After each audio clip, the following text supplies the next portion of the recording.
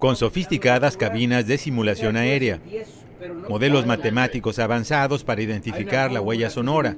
sensores para medir el patrón de los vientos y miles de horas de vuelos virtuales para asegurar los más altos estándares de seguridad aérea, una de las empresas estadounidenses sin fines de lucro más prestigiadas del mundo desarrolló el proyecto aeroespacial para el nuevo Aeropuerto Internacional de la Ciudad de México. Ubicada en un corredor industrial de los gigantes de la aeronáutica de los Estados Unidos, la corporación Mitre, o MITRE en inglés, ha dedicado más de 20 años a analizar las alternativas para desarrollar un nuevo sistema aeroportuario para el área metropolitana de la Ciudad de México. Es uno de los eh, aeropuertos más complejos en el mundo en cuanto a diseño de espacio aéreo, eh, colocación de pistas, configuración, debido a la altura de la Ciudad de México, que causa que los aviones vuelen a mayor velocidad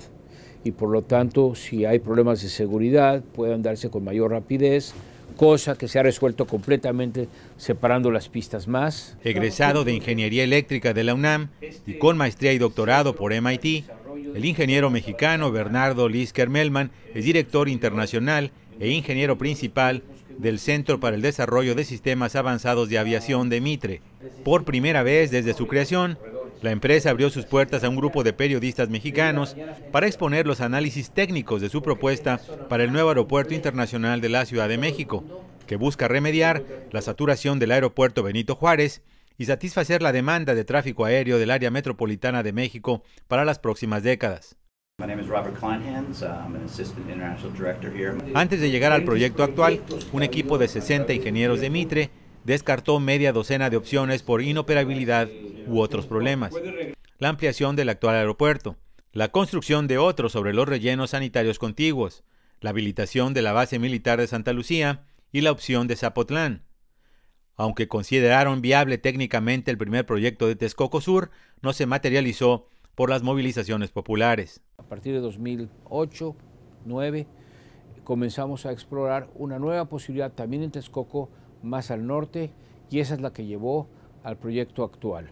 La solución no es la construcción de un nuevo aeropuerto. Desde 2015, Mitre analizó también el plan alternativo del aeropuerto presentado por Morena, que plantea el ahorro de 100 mil millones de pesos a través de la permanencia del actual aeropuerto, la habilitación de dos pistas en la base militar de Santa Lucía y la construcción de un tren de alta velocidad entre esa base y la capital. Propusieron algunas ideas sobre eh, cómo resolver el problema del lado tierra, sin embargo, lo que nosotros hemos visto y vimos en ese entonces es que carecía del análisis aeronáutico, que es el que no permite la solución que ellos están proponiendo. Simplemente en nuestro campo no se debe divorciar jamás el lado tierra del lado aire.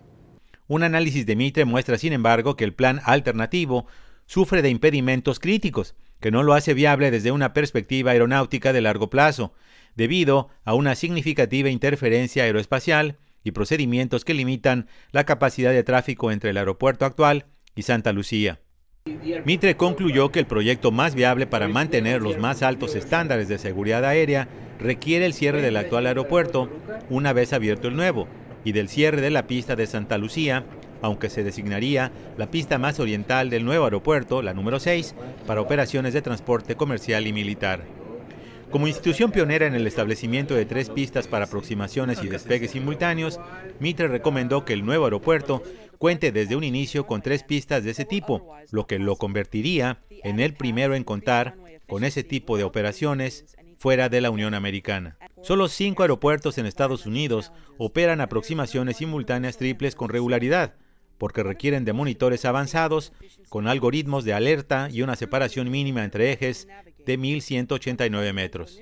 Con más de dos décadas de experiencia operando en México y utilizando la más alta tecnología de simulación aérea, Mirtre confía que el nuevo aeropuerto internacional de la Ciudad de México logrará no solo aliviar la sobresaturación de la actual terminal aérea, sino también reducir la contaminación auditiva para los habitantes del área metropolitana de México. Desde la corresponsalía de Notimex en Washington, José López Zamorano.